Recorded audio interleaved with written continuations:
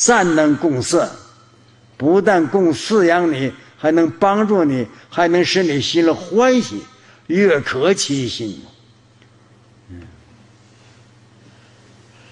是大菩萨所有利益众生，找那个护法义的菩萨来照顾一些众生。大家要做如实想，别做通普想。今儿来照顾这些人，菩萨又怎么回向呢？所谓愿意的众生得调顺心。调和那个心情，常时顺畅，没有违逆心。调顺是违逆的反面了。一切佛所修习善根，这都是在一切佛，在一切佛所，就是在佛的道场，或者有佛住世，或者无佛住世，都是佛的道场，佛所嗯。觉悟的场地，就是佛的道场，修习善根。菩萨做如是行的时候啊，他又发愿呢，愿一切众生把他那个心呐调顺的非常的善良，都变成了凡夫心，变成菩萨心，在一切道场当中。佛所就是佛所处的处所，都是道场，道场，嗯，修习善根，嗯，一切众生随顺供养去诸佛，发愿呢，一切众生都能够常识的随顺，随顺佛所的教授，完了又供养给诸佛，与佛所有的教化教法，悉能听受。绝不违逆。业众生得佛摄受，常观如来更无一面。嗯，佛摄受，咱们现在大家都是得佛摄受的，还得华严助会的大菩萨摄受呢。嗯，但是我们的心呢，应当常随顺华严这些大菩萨，不要有杂念。就是换句话。不要有其他的想法。华严经里的菩萨呀，什么方法都告诉我们了。你心里怎么用心，身体怎样做，那心里怎么想啊？心是主要的。咱们从一开始学习时候，怎么样才把信心永远不对事儿？文殊师利菩萨。就教授我们了净行品，全都学过了。嗯，一百四十大愿，总是四个字：善用其心。说你把心呐用好，用到什么上呢？愿一切众生都成佛，这是供养好了。随顺供养诸佛。得这样摄受，谁摄受啊？佛摄受，佛常时摄受嘛，嗯，只有一面信佛、念佛这一面，信佛念佛的，其余的杂念都没有。且有一些助随顺诸佛的善根，一切众生常勤供养一些诸佛，无空过失。说我们这时间呢，点点滴滴都不让它空过。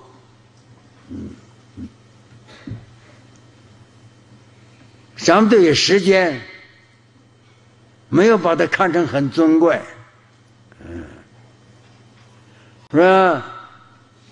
我有这样感觉，小时候吧，感觉时间过得很慢，特别当小孩时候，十岁以前呢，十岁以前一直盼着过年，为为什么呢？过年能穿新衣服啊。吃的好啊，书也不念了，什么都不做了，光玩儿。想那个时候，啊，就像盼过年、盼过节啊，盼放假、盼星期天。但是现在年龄的盼呢，感觉时间过得太快了，好像一年呢，啊，一晃就过去了，啊，事情还没做完呢，这一年就到了。嗯嗯嗯，嗯，讲么讲环境一样了，嗯嗯，好像时间过得太快，还没有讲好多，应该讲的实地啊，现在石会相还没完呢，是吧？这感觉时间太快，法无定法，有时啊，没有一定的了。一心力，实无定体，时间没有一定的一个标准的，是你的心，兄弟，是吧？你要感觉这时间不够用，为什么呢？因为我们现在想修成佛，想了生死，想断烦恼，道理没有，而时间过过去很快。就老了，老了就感觉苦恼了，这苦恼了，嗯嗯，他六根呐，他不但是听使唤了，对，呃，指挥不灵了，那，一到七八十岁的，七十多岁就是老人了，啊，这这老年人过年就是一年不如一年，为啥？一年更比一年老了，他衰退了。猜错了，嗯嗯，所以时间不要它空过呀。可能我们二三十岁的小道友啊，没有这个观念。哇，今天这二十四小时好长啊，好长，嗯。但是得看电影啊，或者玩的时候，哎呀，这时间好短呢，嗯，就这样，像法无定体，业心力。法没有一定的，所以你别让它空过。嗯，严宗上舍此一切诸佛妙意，言辞清净，有心无畏啊。这个很难。诸佛的妙意，什么是诸佛的妙意？咱们能受个三皈，皈依佛，皈依法，皈依僧，能有这么个特殊的因缘。受过三跪，成为佛弟子，嗯嗯，就是这个，就是佛的妙意。为什么呢？这个“妙”字加上，这含义很深。我们刚受三跪时候不到，要一字佛了，一字法了，一字生了，嗯，一字杀了，得到什么好处呢？受个三跪，不论你这中间的过程，经过好多苦难，经过堕落好多劫，因为这个种子种下去了，一定能成佛，这叫妙意。妙意，嗯，乃至你在修行，在一日三跪去做，乃至再去学佛法深入，那就快了，那时间呢，成佛的时间快了，嗯，嗯。对，这时候语言清净，不是语言清净，是你心心清净了，指挥你的言语就清净了，没有过错，没有妄言欺语两舌恶口，四过皆除。嗯，说心行无障碍，身体行也无障碍，说有行无畏。什么都没恐怖感，为什么心无挂碍啊？没有挂碍了，什么恐怖都没有了。那具足菩萨的无畏了。愿学众生常夜见佛，心无厌状；愿众生常时欢喜，亲近诸佛，心里的没有眼着了，没有杂念，贪嗔痴念头没有了，就没有眼着，说什么都不执着。那就真解脱。离世所依，不依世间，依三宝。依是出世法，不依是世间法，要离世所依。愿众生当归于佛，容一切邪归一处，只因为三归，其他皈依都不归，也不归也不依。愿众生随顺佛道，心藏要观。无上佛法，这这跟那前头啊归处是一样的啊，心里喜欢，观什么呢？观佛法，观无上的佛法，要当观第一谛。嗯，文殊菩萨教授我们的，嗯，说在法会大藏，嗯，常是观念，观什么呢？当观第一谛，谛观法王法，法王法入世，一切法王法都入世。愿众生随顺佛道，心常乐观无上佛法，是为菩萨摩诃萨，是菩萨是三根回向。嗯，不是用人给别人吃饭，就做入世回向。是为菩萨远离尘垢，净自佛地，一切尘垢都脱离了，清净佛的果位，能现出来自在身果，能现呢，就是说我们能够成就，成就什么？成就佛的自在身。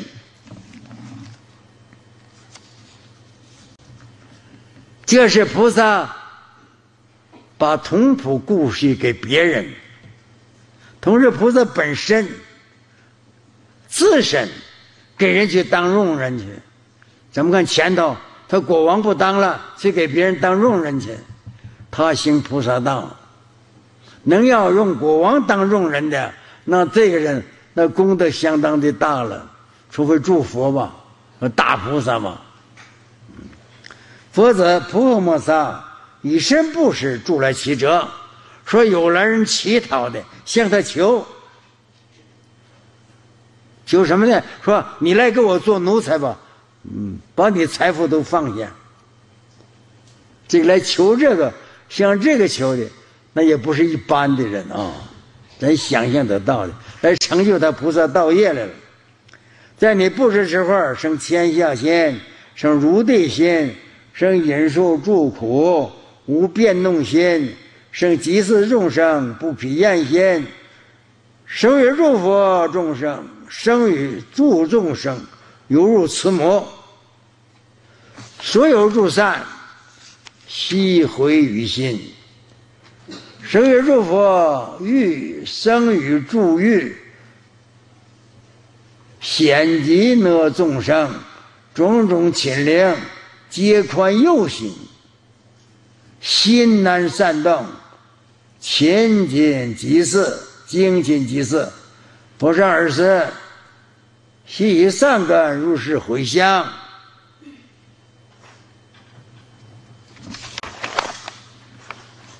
今天讲不完了，就讲这些吧。梦参老和尚，一九一五年七月十三日，生于今吉林省白城地区。一九三一年。在北京房山县兜率寺出家，一生学通显密，教通八宗，畅讲华严，力弘地藏。虽蒙雷泄之灾三十三载，弘法心志未曾稍歇。于二零一七年十一月二十七日，在大陆五台山安详示寂，享受一百零三岁。感恩梦参老和尚。一生演说大乘，少龙佛种，缅怀风范，祈愿老和尚早日乘愿再来，慈悯度众，利乐有情。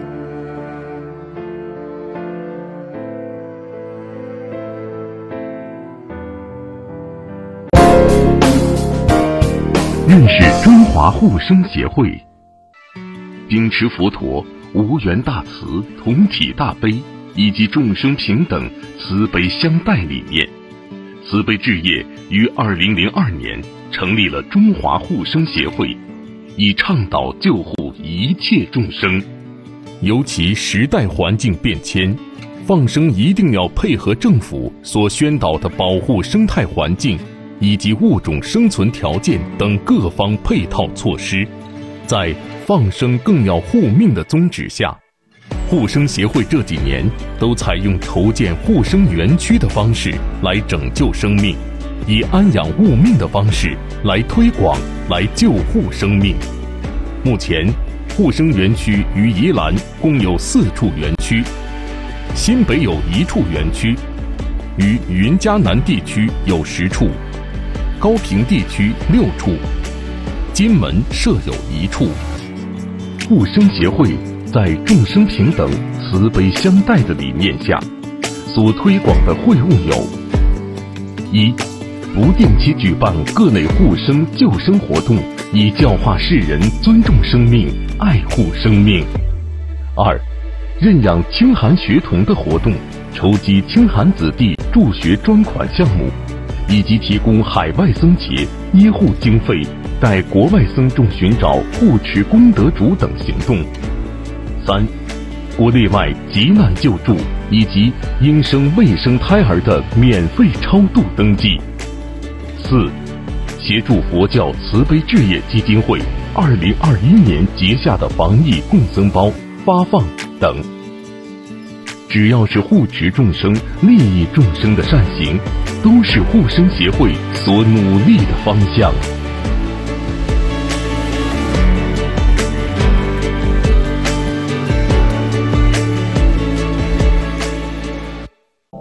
新逢观世音菩萨出家纪念日，持戒地人天，忏悔除罪障，放生解冤结，福寿广增延。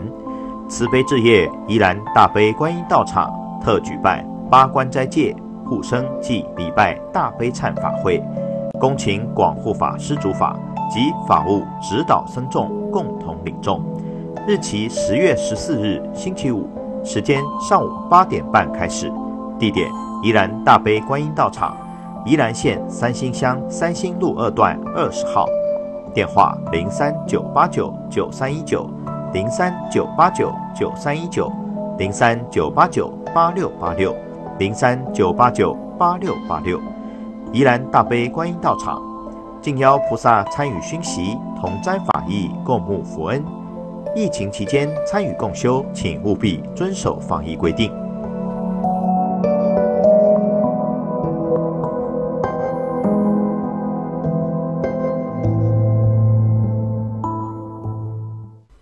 佛教慈悲置业基金会台南分会诚征义工，联络电话零六二七一六六一六或零六二七一六六一二，地点台南市永康区永大路二段三百四十五号。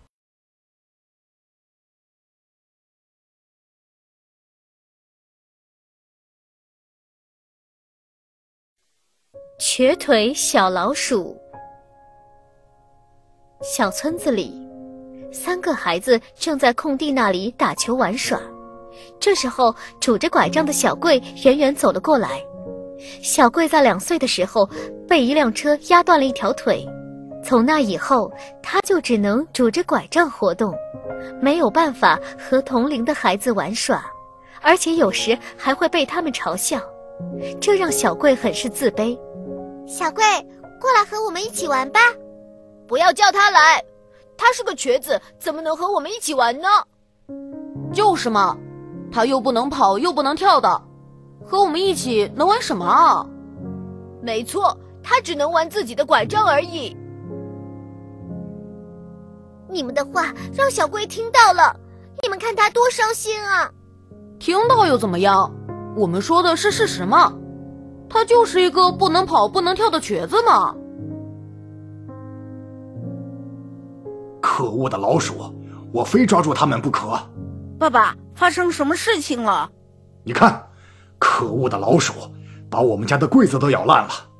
老公，你要想个好办法制止那些老鼠了，他们最近实在是太猖狂了。放心，我早就准备好了。这个破旧的捕鼠笼能抓到老鼠吗？当然了，只要在里面放上诱饵。那些老鼠就一定会上当的。第二天，小贵独自在家的时候，突然听到厨房里传来了一阵老鼠惊慌的叫声。老鼠被抓住了，太棒了！笼子里，一只右后腿残疾的瘦弱小老鼠，正用三条腿在笼子里跌跌撞撞地寻找着出口。他一边找着，一边叽叽叫着。当他看到小贵走过来后，不由得愣了一下，眼神中露出了惊恐的神色。啊，竟然是一只三条腿的瘸老鼠！这真是一只苦命的小老鼠，小小年纪就成了残疾。我还能用拐杖，它却只能拖着断腿行走。不知道它的腿是怎么弄断的，也许生下来就是残废。也许也是因为一场意外事故，不管怎么说，它真是挺可怜的，不能像别的老鼠那样翻梁走壁寻找食物，它一定是因为肚子饿极了，才冒险钻到笼子里来的。面对这只瘸腿小老鼠，小贵不由得心生怜悯，于是便打开了捕鼠笼，将它给放了出来。你走吧，以后要小心点哦。原来他的家在那里啊！小贵的父母在邻村的食品加工厂工作，每天都会很晚才回来。小贵只能孤单单的一个人在家里，也许是太孤单了，也许是同命相连，小贵总惦记着那只瘸腿小老鼠。他拖着一条残腿，还能找食物吗？他对四肢健全的同伴也羡慕妒忌吗？小贵很想知道这些问题的答案。反正闲着也没事，他就静静地坐在厨房一个被干草遮蔽的角落里，等待那窝老鼠出来活动。太好了，他们终于出现了。咦，那只瘸腿小老鼠呢？它怎么没出现啊？就在这时候，那只瘸腿小老鼠一瘸一拐地从洞里钻了出来，它想赶紧追上同伴。可是却没有办法。这时候，大老鼠看到了灶台旁有一节玉米。玉米太棒了，今天有吃的了。我也要吃，我也要吃。嗯，好香的玉米啊！给我留个位置，让我也吃一口，好不好啊？你走开，不要过来跟我们抢东西吃。就是玉米这么少。我们吃还不够呢，你去找别的东西吃吧。哎，他们是一家人，这些老鼠怎么能这样对待自己的同伴啊？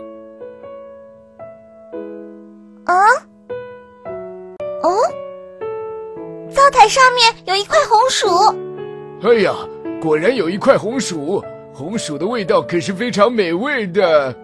这几只健康的老鼠很快便爬上了灶台，可是瘸腿小老鼠想尽办法也没有办法爬上去，只能眼睁睁地看着它们吃红薯。这些老鼠实在太不像话了，难怪那只瘸腿小老鼠会被捕鼠笼抓住。它平时真是太饿了。那只瘸腿小老鼠无法爬上灶台。于是扭头朝众老鼠刚才啃食的那节玉米看去，那玉米棒上还残留着几颗玉米粒。瘸腿小老鼠跑过去吃起了那玉米棒上残留的几颗玉米粒。这只瘸腿小老鼠实在太可怜了，不行，我得帮帮它，要不它会饿死的。此时，小贵从衣兜里掏出一块饼干，朝瘸腿小老鼠扔去。正在啃着玉米的瘸腿小老鼠，看到丢过来的饼干，愣了一下。他紧张地四下看了看，结果一下子看到了小贵。他愣了一下：“小老鼠，不要害怕，赶快吃吧。”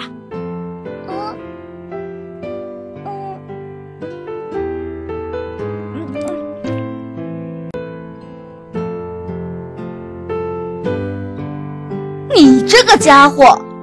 竟然独自在这里偷吃饼干，就是嘛！找到好东西也不知道叫我们一起来分享，真是太过分了！走开！嗯嗯哼，这些老鼠真是太可恶了！你们真是太过分了！为什么总是欺负它？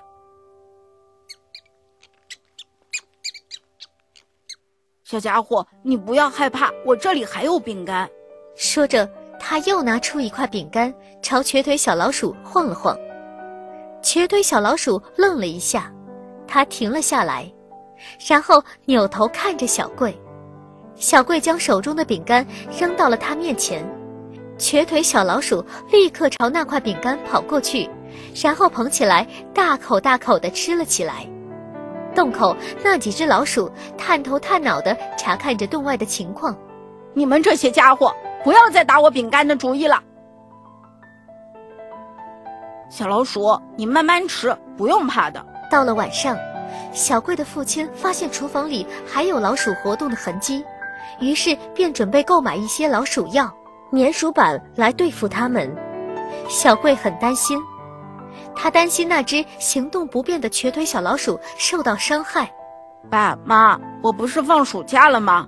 这些天我在家里将厨房收拾干净，不留一点食物。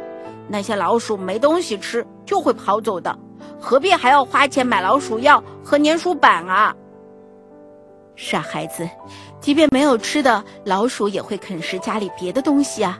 上一次我们家的柜子不就让老鼠给啃坏了吗？是啊，他们哪里能这么容易就离开呢？爸爸妈妈，你们就让我试试吧。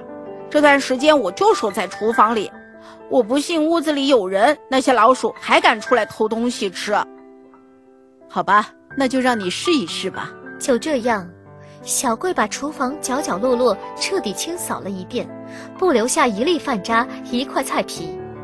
他还把米缸和水桶用木盖盖得紧紧的，把通往院子的水沟用砖头铺得非常密合，整个厨房坚壁清野，不给老鼠有任何找到食物的机会。几天下来，那群老鼠真饿得搬了家，不过瘸腿小老鼠却没有离开。因为这段时间，小贵一直在偷偷喂着它。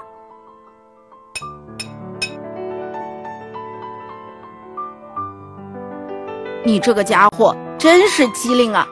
怎么知道这是我发的信号呢？哈哈，小家伙，快吃吧！现在只有你自己留在这里了，你的那些同伴不会再来和你抢食物了。小老鼠，以后只有听到我的信号才能出来哦。要是让我父母看到家里还有老鼠，可就糟了。你听到没有？瘸腿小老鼠已经习惯了从小贵手里接食物吃，只要小贵一发出信号，它就会从墙洞里钻出来，一瘸一拐的来到他面前，用清澈无邪的小眼睛望着他，吱吱叫唤。小贵当然不会让他失望，他总是把最好的，连自己都舍不得吃的零食省下来喂它。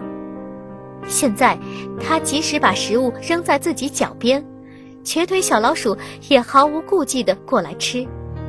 转眼间，半年过去了，在一天夜里，小贵突然听到了熟悉的叫声：“小家伙，你是不是又饿了？”“嗯。”“啊。”你怎么胆子变大，半夜跑出来了呢？